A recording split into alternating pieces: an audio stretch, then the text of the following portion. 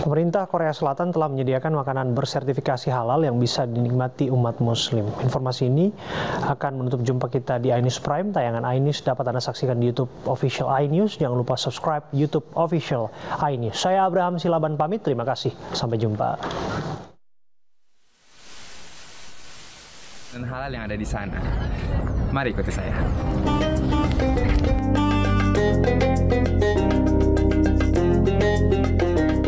Ramadan di Korea Selatan memberikan tantangan yang berbeda.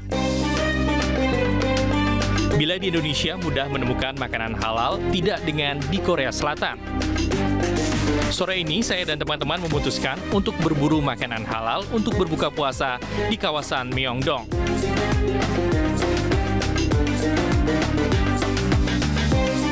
Sekitar 200 ribu umat muslim yang ada di Korea Selatan. Tradisi Ramadan di sini pun terasa unik. Saat ini saya akan mengajak Anda untuk ngabuburit. Wilayah ini terkenal dengan pusat perbelanjaan dan juga jajanan. Saya juga akan mengajak Anda untuk mencicipi masakan halal yang ada di daerah ini. Seperti apa keseruannya? Mari ikut saya.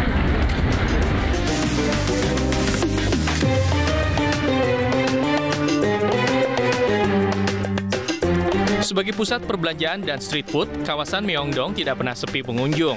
Berbagai jenis makanan bisa ditemukan di sini, seperti chicken stew, Korean egg bread, seafood, hingga berbagai macam buah-buahan. Makanan halal di sini memiliki logo halal.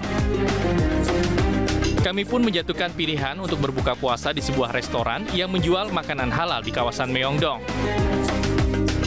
Kampungku adalah restoran asal Malaysia yang menjual tidak hanya makanan khas Korea Selatan, tetapi juga menu Asia Tenggara.